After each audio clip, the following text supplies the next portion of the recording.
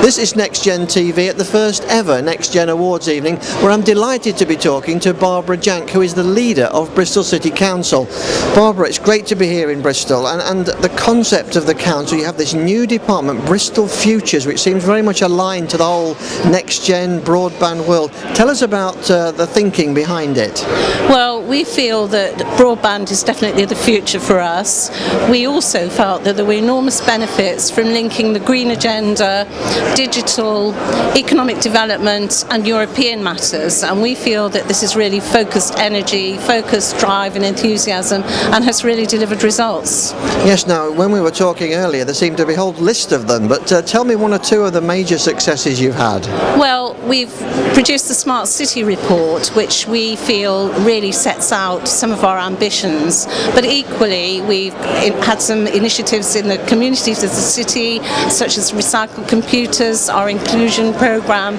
We've also had a number of competitions which have produced innovative software. Equally today we've announced another 600 Wi-Fi hotspots in the city.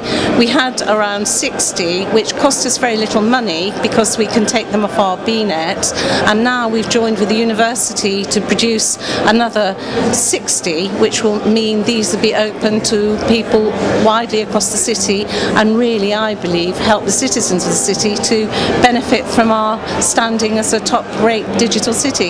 Yeah, I mean there's a real buzz about the place and of course broadband is very much part of it, isn't it? It certainly is. We certainly believe this is the future. Today I've met with Minister Greg Clark to talk about our enterprise zone and a city deal that the government might do with us. Broadband was very high on our list and we feel we've got a unique asset, a unique selling point here in Bristol with the BNet. Minister's very interested and we believe we're going to see real developments as a result. Fantastic. Well, great news. Lovely to meet you and have a really good evening here. Thank you very much and we're absolutely delighted that you've chosen to come to Bristol. Thank you.